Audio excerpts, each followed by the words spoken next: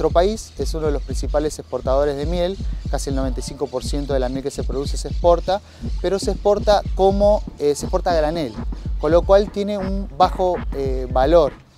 Y nosotros desde INTA ya hace varios años que estamos trabajando para eh, agregar valor a la producción y lograr este, que los productores obtengan un rédito mayor por su producción. En este contexto, en el año 2009 comenzamos a desarrollar herramientas que permitan eh, realizar trazabilidad electrónica. La trazabilidad nos permite vender un producto diferenciado, o sea, nos permite salir de, la venta a granel para vender un producto que tiene, por ejemplo, una ubicación geográfica y ciertas características. Y esto se puede certificar gracias a la trazabilidad.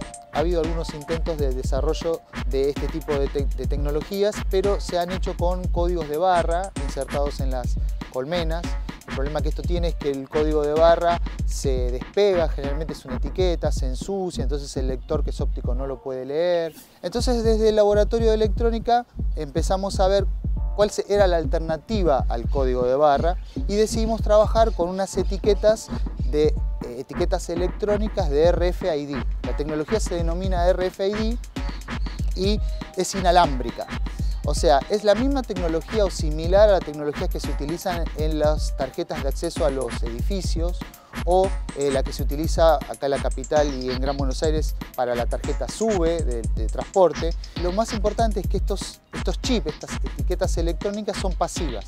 Significa que no utilizan eh, pila, ningún tipo de batería, o sea que no hay ningún, eh, ninguna batería o pila en contacto con el alimento que sería la miel. El principio de funcionamiento del sistema es bastante simple, hay que colocar estos chips de RFID en las colmenas, por ejemplo, se podría poner uno por cuadro, por marco. De esa manera ese chip tiene un número de serie único e irrepetible.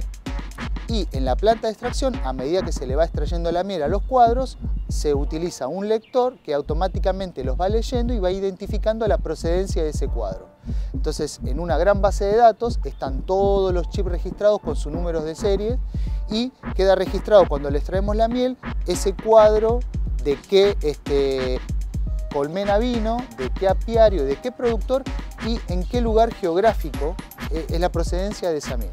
Entonces, a medida que se va realizando la extracción de miel, van quedando registrados todos estos chips y va también quedando registrado los tambores que se fueron llenando con esta miel. Entonces, cuando se cierra un tambor, el sistema automáticamente emite una etiqueta, esta sí es de código de barra, que se pega en el tambor y este, estos tambores se exportan y si eventualmente hay algún problema con la miel o, algo que, esté mal respecto de la calidad de la miel que se exportó y el tambor vuelve, ¿no? es rechazado, este, uno con el código de barra puede hacer el proceso inverso y verificar cuáles fueron los apiarios y cuáles fueron las colmenas que fueron a parar a ese, a ese tambor y verificar qué fue lo que pasó en el proceso y corregirlo, porque la idea de estos sistemas de trazabilidad y de calidad es poder después hacer el camino inverso y corregir, este, corregir para que no vuelva, no vuelva a ocurrir.